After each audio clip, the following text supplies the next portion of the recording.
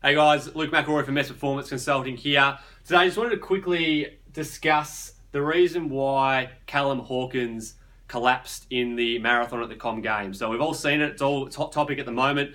Um, he got along to about 40 Ks in, collapsed twice um, and was unable to finish the race. So I want to speak about physiologically why that happened and, and, what we can actually do to try to avoid that. So first and foremost, as a bit of background, obviously he's from Scotland. Um, not sure how many people have been over there, but it's not exactly warm weather. So he already isn't acclimatized to the environment in Gold Coast, right? So it's about 28 degrees um, mid morning, got to about 30 at, at 12 o'clock. So it's a very hot environment. He's not used to that sort of weather. Okay, so that's problem number one.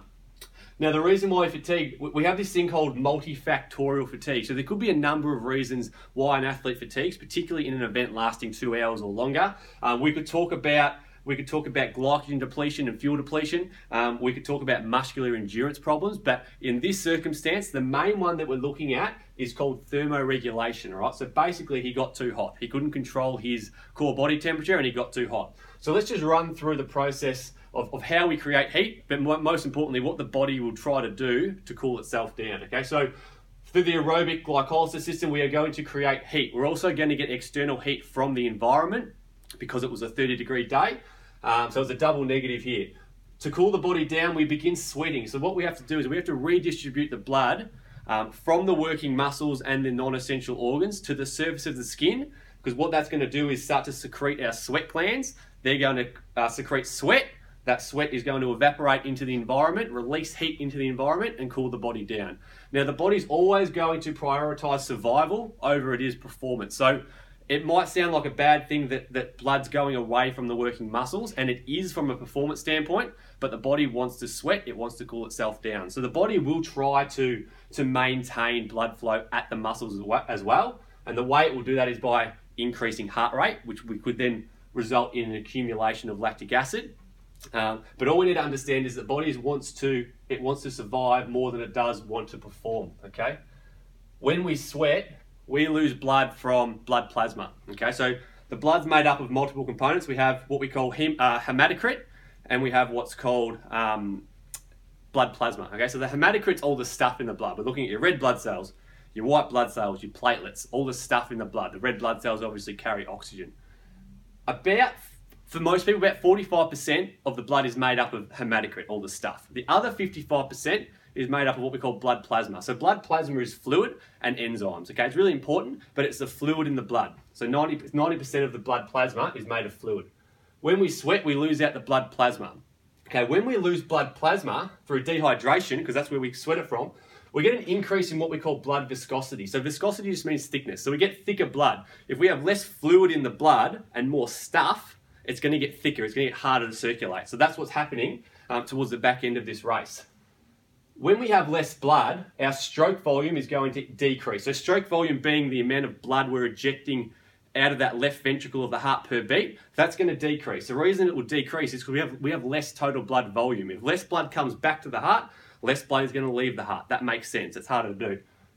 The body will try to compensate with this decreased stroke volume by increasing heart rate. Because if we can't get as much blood per beat, we're going to beat faster in an attempt to try to maintain what we call cardiac output, so maintain our oxygen circulation.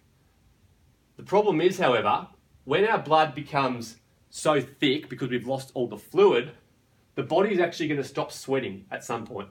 Because if we keep sweating, the body is going to, we're not going to be able to circulate the blood. It's going to be so viscous, so thick that we physically can't circulate the blood, so we're going to have a heart attack or have a stroke. Again, the body does not want to do that. It's always going to prioritize survival over performance. So we're going to stop sweating. The second we stop sweating, as you can imagine, our core body temperature is going to skyrocket because we lose 70% of our heat through evaporative cooling, through sweating. So if we can't sweat, we're going to heat up very, very quickly. And when our body temperature gets above that 37 degrees, gets into that 41, 42, we call that um, obviously heat exhaustion. Uh, and that's where we're in, we're in big trouble. So this is where central fatigue comes in. This is all peripheral fatigue. This is happening outside the central nervous system. This is happening inside the central nervous system. If we hit 43 degrees, we're dead. That's it. Enzymes are denatured and we're going to die. So as soon as we get into the 40s, that's serious alarm bells ringing. And what happens is we get central fatigue. So literally, what happens is the brain will stop sending signals to the muscles. All right. So we're actually going to um, get less motor signals to the muscles. We'll see the coordination. Obviously, Callum was really struggling with his coordination, and it's all to do with central fatigue. So, again, it doesn't want to die, so we're going to physically stop sending signals to the muscles, and we're going to collapse and we're going to fall over. Okay. It also makes sense that through stroke volume, that our low, we're going to have low blood pressure too, because if we have less blood circulating, less pressure, um, we're going to get dizzy because we can't get as much blood around the body because we don't have as much total blood volume. Okay. So, what does this all mean? Obviously, we saw that um, he lost, he collapsed, but from a from a, a um, from a how we can avoid that from the point of view of avoiding it, it's all to do with acclimatization. Okay, so obviously we already said that he was from Scotland, um, so very cold, not used to the hot environment.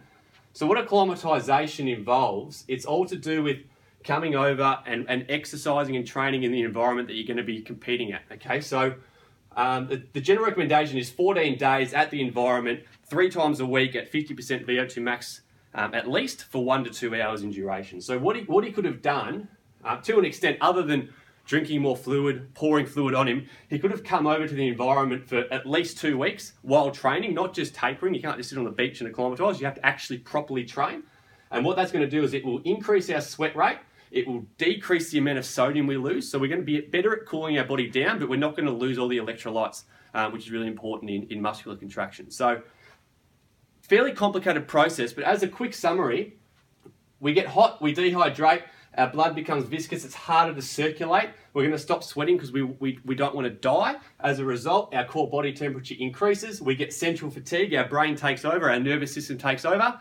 Uh, we shut off the signals to the legs we have low blood pressure, we get dizzy, we fall over, we collapse, we can't continue. Okay, so that's pretty much the gist of it. Um, multifactorial fatigue, it's, it's often more than one thing. So hopefully you enjoyed that, guys. Any questions, let us know. Uh, more content, get into the Mets Mastermind, and we'll speak to you soon.